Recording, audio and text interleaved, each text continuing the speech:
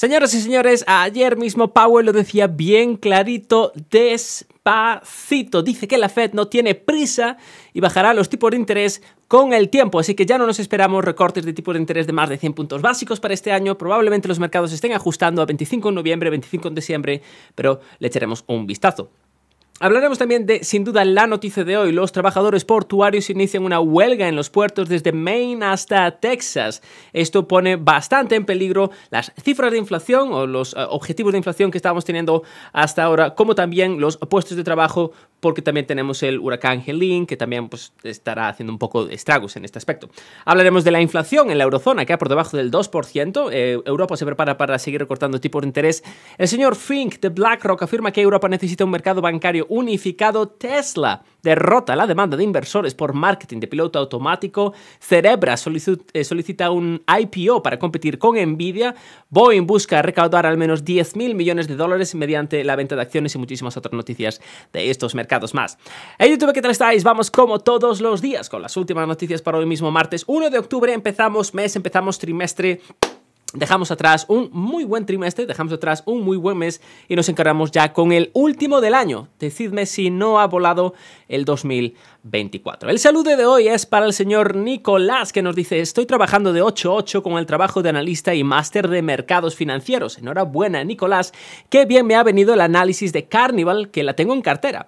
Espero que cuando gestione un fondo de inversión te vengas a mi equipo, Nicolás, nos encantaría. Uh, mándame un correo, podemos hablar de todo eso un poco. No, la verdad, uh, tenía pensado quizás en algún momento, ahora que ya tenemos uh, la, la, formación y tenemos la titulación europea de asesor financiero, pues montar algo del estilo, pero tampoco es que tenga prisa, creo que sobre todo con el grupo y la gente del grupo creo que está bastante contento y lo vamos a dejar por ahí, pero no pongo en duda o no digo que no a dentro de quizás unos meses o un par de años montar un fondo bastante boutique, bastante pequeño, única y exclusivamente dedicado a estas oportunidades especiales eh, para que bueno, para que la gente que no tenga o que no quiera seguir los mercados pues pueda digamos invertir de manera segura y asegurándose pues también de obtener buenas rentabilidades, pero ya, ya te digo, tendría que ser un fondo o debería de ser un fondo bastante o relativamente pequeño comparado con otros fondos porque llega un momento donde eres demasiado grande y ya no alcanzas, ¿no? Ya no tienes esa ventaja de jugador pequeño. Anyway, Muchísimas gracias, Nicolás. Vamos hablando.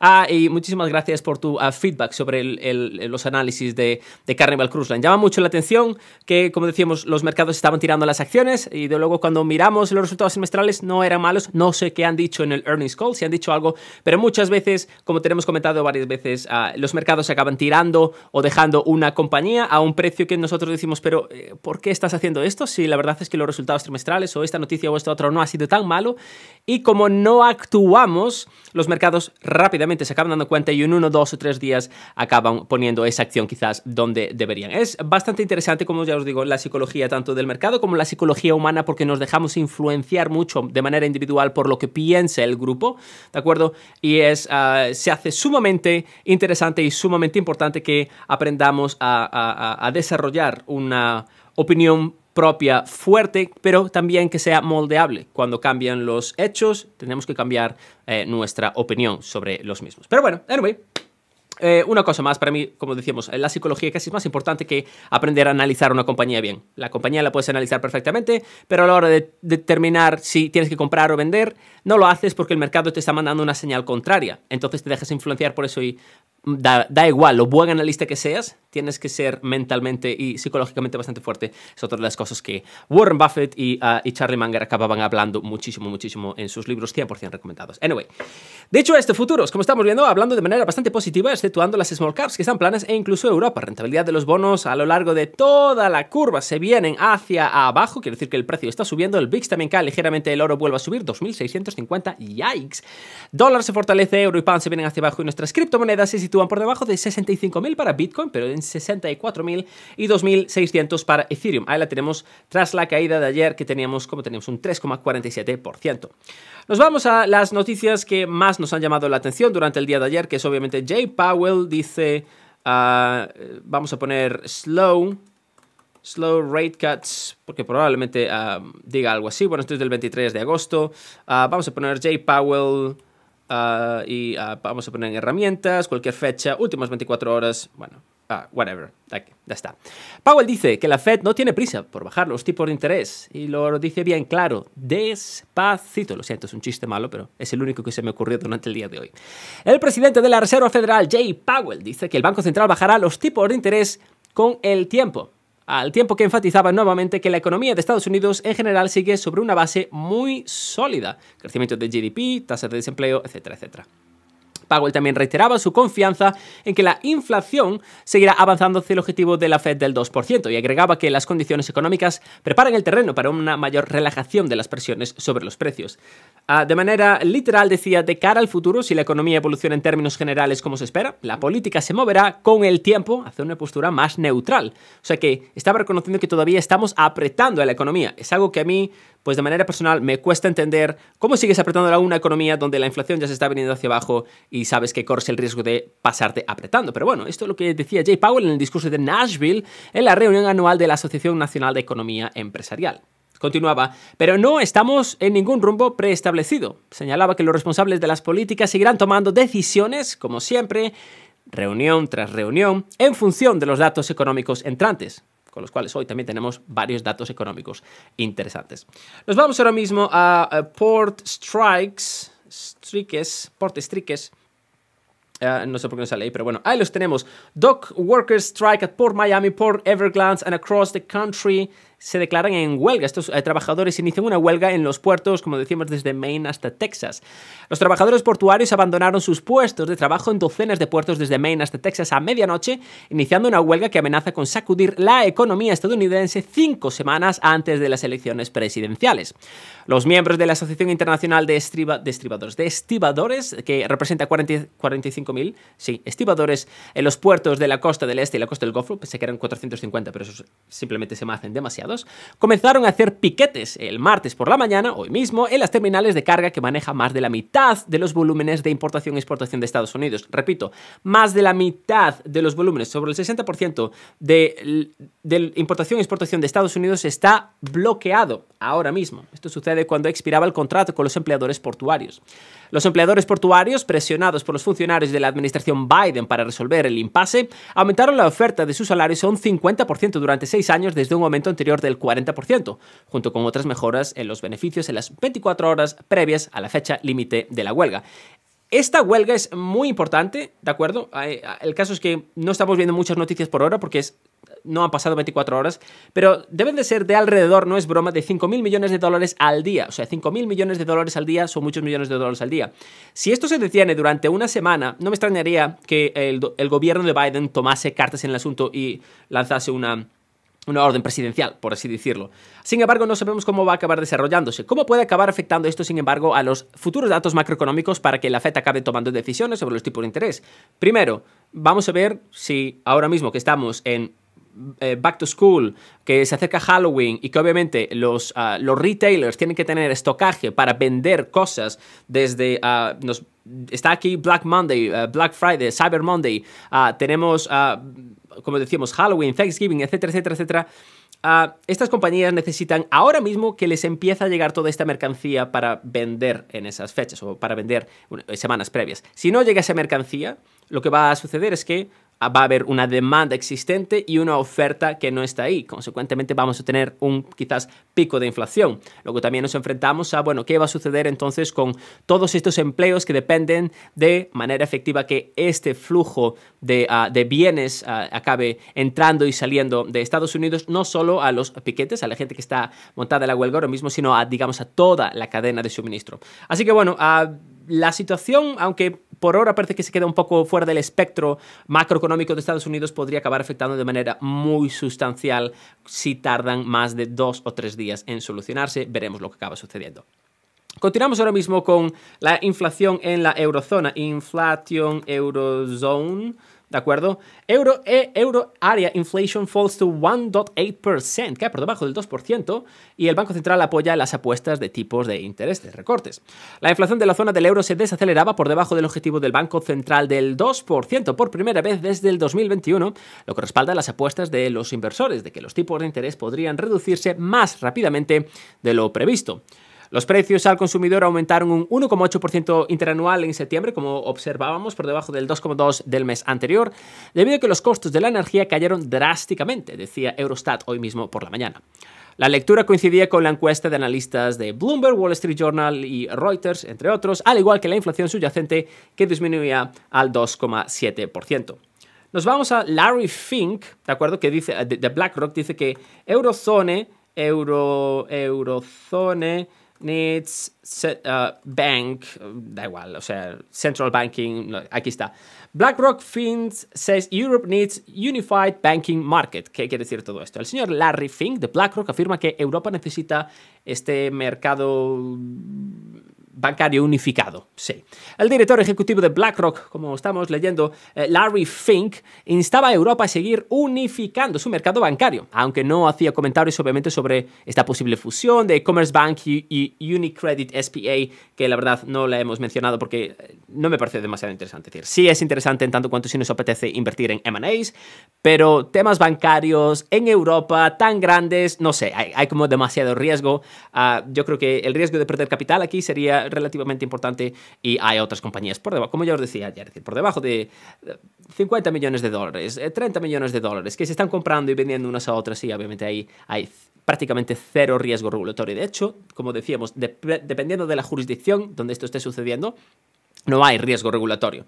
Por debajo de cierto, cierta capitalización de mercado, eh, la FTC, el DOG no tienen nada que decir. Es completamente ah, ilegal que estas compañías, que estés uh, que estos ah, eh, órganos legales digan algo porque son compañías, por así decirlo, demasiado pequeñas. El caso. Larry Fink decía que Europa necesita un sistema de mercados capitales más fuerte y un sistema bancario más unificado. Decía en la entrevista de la conferencia Diálogo Global de Berlín, el día de... Ah, el día de fue, hoy a la mañana, hace tres horas, como vemos, cuando se le preguntaba sobre sus opiniones sobre una posible fusión de estos dos prestamistas. Añadía que tampoco quería hacer comentarios sobre ninguna actividad que se esté produciendo entre las dos empresas en concreto, ya que su empresa es accionista de ambas. BlackRock, que es el mayor inversor de Unicredit, y el tercer mayor de Commerce Bank, y del resto del mundo también. Pero bueno, ¿qué nos va, qué, nos va a nosotros, no? Eh, ojalá fuésemos nietos de Larry Fink ya estaríamos aquí. Anyway, los futuros del S&P 500 están prácticamente registrando pocos cambios, aunque al alza al comienzo del cuarto trimestre.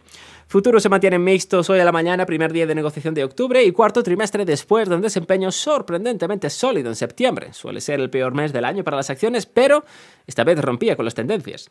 Los tres promedios principales registraban ganancias mensuales y fue el primer septiembre positivo para el S&P desde el 2019. El S&P, el Dow Jones y el Nasdaq también terminaron el tercer trimestre en territorio positivo. La decisión de la Fed de recortar los tipos de interés en medio punto en su última reunión impulsaba el desempeño de las acciones en los últimos tiempos.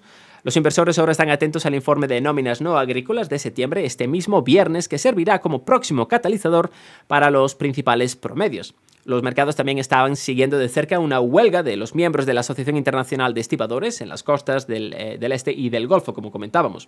En cuanto a datos económicos, la encuesta de vacantes y rotación laboral de agosto, los jobs de la Oficina eh, Estadística eh, Laborales disculpadme, de Estados Unidos se publicará hoy mismo por la mañana.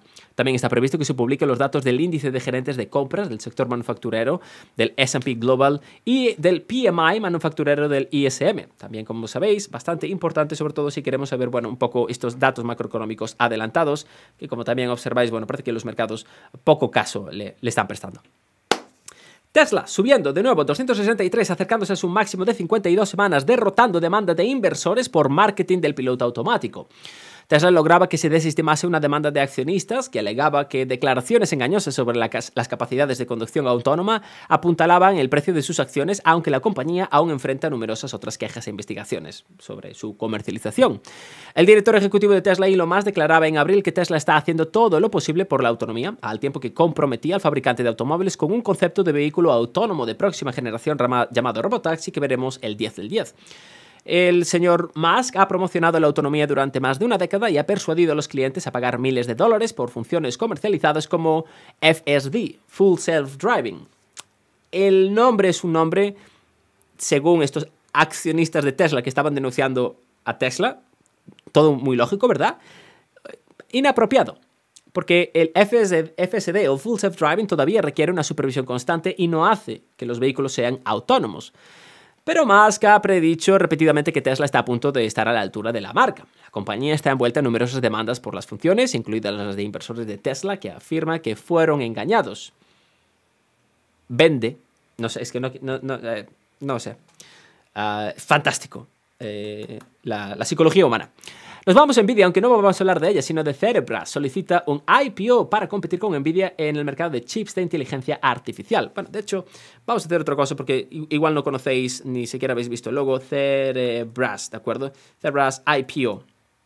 Ahí la tenemos, ¿de acuerdo? Bueno, pues esta es la compañía. Cerebras Systems es, ah, es, una compañía que se dedica prácticamente un poco a lo que se dedica Nvidia. Eh, lo que pasa es que es ah, una pequeña startup. Está buscando desafiar, como decíamos, a Nvidia en el campo de la computación con inteligencia artificial. Presentaba ayer mismo un IPO y publicaba información financiera que muestra una operación de rápido crecimiento, pero aún relativamente pequeña.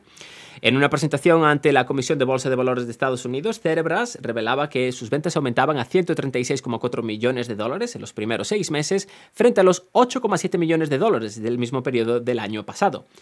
¿Estáis haciendo bien los cálculos? Esos son casi unas 50 veces sus ingresos de un año tras otro.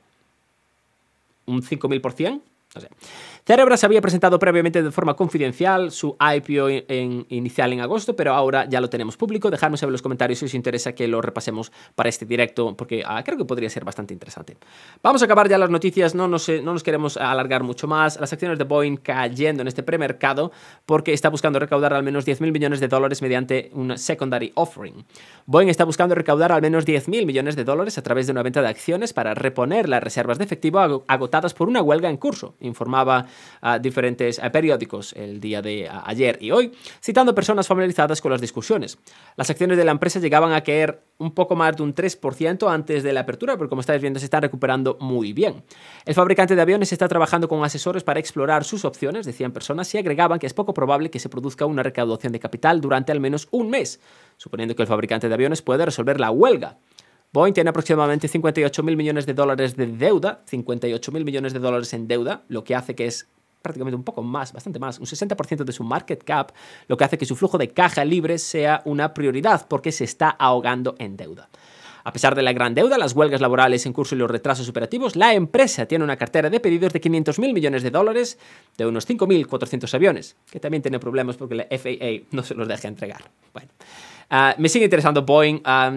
está, yo creo que estamos ya cerca de este punto de máximo pain, ¿de acuerdo? Pero creo que nos hace falta una noticia de nuevo negativa para ver ah, una caída de este estilo, una caída desde estos 176 ah, a unos 120, 130, o, o quizás me estoy pasando de cerdito y quizás deberíamos empezar a entrar en Boeing, aunque si me preguntáis, Bernardo, ¿es más interesante Boeing ahora mismo o Visa? Sin duda, Visa. La considero más interesante porque quizás también, bueno, mi apetito por riesgo en estas grandes empresas donde no tenemos ninguna ventaja competitiva frente al resto del mercado, pues cojo lo más seguro, coge a Visa. ¿De acuerdo? Está súper interesante, aunque esté cotizando 27 veces futuros beneficios. Macroeconómicamente, 10, eh, menos cuarto de la mañana, PMI manufacturero, 10 de la mañana, índice manufacturero ISM y gasto en construcción con encuesta de ofertas de empleo y rotación laboral, este JOLTS, ¿de acuerdo? 11 de la mañana, anuncio de recompra de bonos del Tesoro, 11 de la mañana, discurso de Bostic de la Fed y a las 6 de la tarde, una conversación con los presidentes de la Reserva Federal. En lo que respecta a nuestros resultados trimestrales, estamos ya acercándonos, como decíamos, a esta nueva ola de resultados trimestrales y bueno, ya prácticamente estamos ahí. Tendremos que esperar a la semana que viene, pero estamos teniendo unos muy buenos aperitivos con Paycheck, McCormick y Nike. Señores y señores, ayer, disculpadme, ayer, este fin de semana hablábamos sobre Nike y creo que hoy va a estar súper, súper, súper interesante estos resultados trimestrales con eh, el, nuevo, el nuevo CEO ya está en plantilla, pero no empieza a trabajar como CEO hasta el 14 o el 16, así que estos resultados trimestrales esperan que sea un completo desastre. Veremos el nuevo CEO ya está hablando, si nuestro señor eh, Donahoe sigue ahí. Muchas, eh, muchas sorpresas que pueden llegar a suceder con Nike durante el día de hoy. Futuros como estamos viendo sin grandes cambios. Echamos un vistazo al S&P 500 como estamos viendo intentando rebotar de estos mínimos de intra, intradía, si es que se llama así en los futuros. Y nos vamos a nuestras acciones, empezando como siempre por los sectores gas natural... Mineras de oro, eh, China continúa el ascenso, semiconductores eh, se viene hacia arriba cuando ayer cae casi un 1%, macro regionales, triple Q, tecnología. Y la otra cara de la moneda, energía, industriales y gas natural. En nuestras acciones ahora mismo tenemos saltando a Trump, Media Technology, NIO, Li Auto, Expand, China, China, China. Acaban de reportar ventas, vale, cifras de ventas muy buenas, por cierto. Esto va a acabar ayudando también a las acciones de Tesla durante el día a venirse hacia arriba. Desgraciadamente tenemos a Bumble subiendo, malditas ardillas, no la vamos a poder comprar a un precio de ganga. Yo creo que ya está a precio de ganga, pero bueno. tenemos a Cheesecake Factory, tenemos a Bilibili, tenemos, uh, Clorox, hello. Tenemos a Google. Google tiene hoy un upgrade. Uh, Browser Security está en actual recurring revenue Apple has used the stop and injection. Alphabet priced, aquí está, 215 dólares by Pivotal Research. Esto es más de un 30% de los precios actuales. Es, yo creo que es, es, la más barata de las, de las mega cap. Uh, 21, casi 22 veces de futuros beneficios. La otra que podría ser es Meta, es 29 veces, 26 veces. No cabe duda, Google es la más barata sin duda de estas grandes compañías. Bueno, uh, continuamos entonces para Bingo con las secciones que más se están perdiendo ahora mismo. Tenemos Sin Integrated, uh, Shipping, Fastlineo, HPQ, Beyond Me. ¿Qué hace Zim perdiendo con la huelga? Ok, well, um, tendrá obviamente noticias uh, por sí mismas. Tenemos Airlist también perdiendo un 1,32%, Felix, Exact Science, Redfin, Duolingo, Disney uh, y poco más. Parece que Disney no ha despegado. Este hace bastante curioso dónde la tenemos aquí. 95 dólares, bueno, sí, ya ha despegado un poco. Um, sigue pareciendo interesante, aunque no lo sé, hace, hace mucho que no la miro. La última vez que la miramos tenía sus resultados trimestrales. Eh, y uh, Disney Plus eh, generaba flujo de caja positivo, lo que pasa es que los parques se venían hacia abajo, pero bueno, los parques son más cíclicos, no me preocupa tanto como esa gran máquina de consumir dinero, ¿de acuerdo? Es eh, muy capital intensive, tener un negocio muy parecido al de Netflix, eh, donde Netflix no tiene rival y Netflix puede empezar a, digamos, poner sus precios más baratos.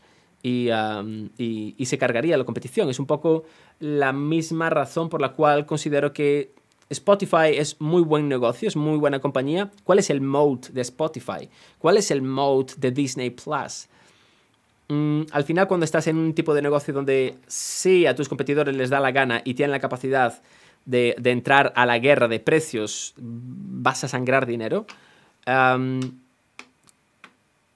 ¿Cómo te vas a asegurar que vas a sobrevivir a eso? Bueno, anyway, señores y señores, como siempre, espero que hayan disfrutado. Si ha sido así, no se olviden de dejar eh, los comentarios un botonazo de me gusta, etcétera, etcétera. Recuerden que durante las próximas horas el grupo Discord ya tendrá el nuevo precio. Hoy nos vamos de compras, vamos a comprar al menos tres o cuatro ah, situaciones especiales que están que ya quizás algunas las deberíamos de haber comprado ayer, pero bueno, queríamos que este polvo se acabase posando. Ah, y bueno, como siempre, muchísimas gracias por vuestro apoyo, muchísimas gracias por vuestro tiempo, muchísimas gracias por vuestros comentarios, feedback, todo ayuda, todo suma. Eh, espero que tengáis un día fantástico lleno de cachín. Nosotros, como siempre, nos despedimos deseándoles lo absolutamente mejor. Hasta el próximo vídeo.